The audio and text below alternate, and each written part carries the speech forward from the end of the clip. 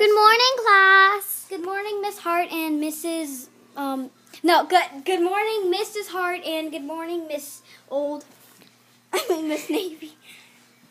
You can call me Old Navy if you want. Old Navy, a place for school is cool. I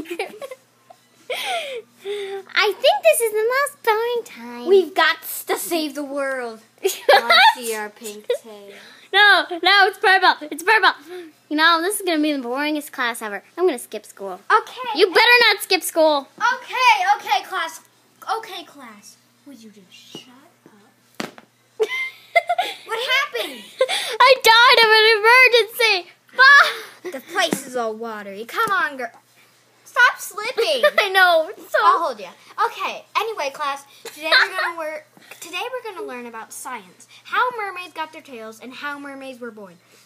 Blah blah blah blah blah blah blah blah blah. See, you say this. You say this. Blah blah blah blah blah blah blah blah blah blah. I have the answer. I have the answer. Yes. Is our wait? This is a dumb question. Were Nacho cheese was Nacho mermaid shells? No, no, no. This is not part of class. You guys are all. You are in detention. Anyone else want to join her?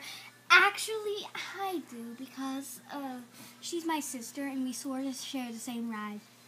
Yeah, me too. Me too. Anyone else, Mimi? Okay, you're all in detention.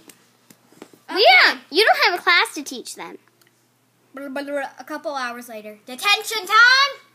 Okay, bye. You can all leave now. I don't. I've changed my mind about detention. I'd rather have you little brats go home. What? Let's go home. No.